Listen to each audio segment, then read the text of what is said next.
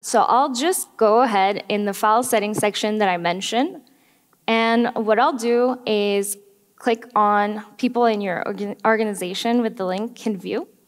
And you'll see now this notification that shows me that uh, people in the organization will be able to access the file. So I'll click on allow. And it's pretty instant. Now you see that the file has been updated to work for anyone in the organization with the link in view. So I'll take a look at my chat with Kat, and I did promise her this link, so let's see. So what I'll do is two ways that I could go about this. I could just copy the link and give her the access from here, or one of my favorite features that we're announcing today is that you can just go ahead and uh, grab the URL from the browser and it'll just work. So let me show you how that looks like. Uh, so here it is, Kat. The link is ready. I now get a nice preview of this file so that I can confirm and have the confidence that this is the right file that I'm sharing with Kat. Here is Kat's account. She's now seeing the link, and I'll click on it and guess what? It just works. She has access.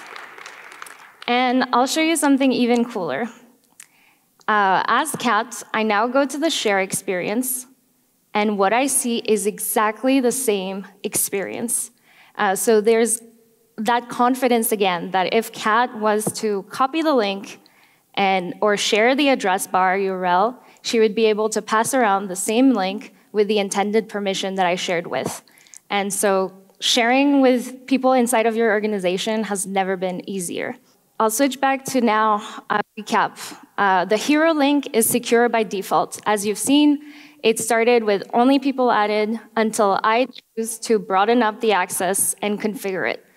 And now I am able to see that there's only one link that rules all the access for the file that takes that control and makes it so much easier for you to update that hero link. You can also share your files with just the URL from the browser and it'll just work. And what is fantastic about this change is that the same way that you're copying the link, you're sending that link through email, or copying it from the browser URL, it is the same link. It'll just work.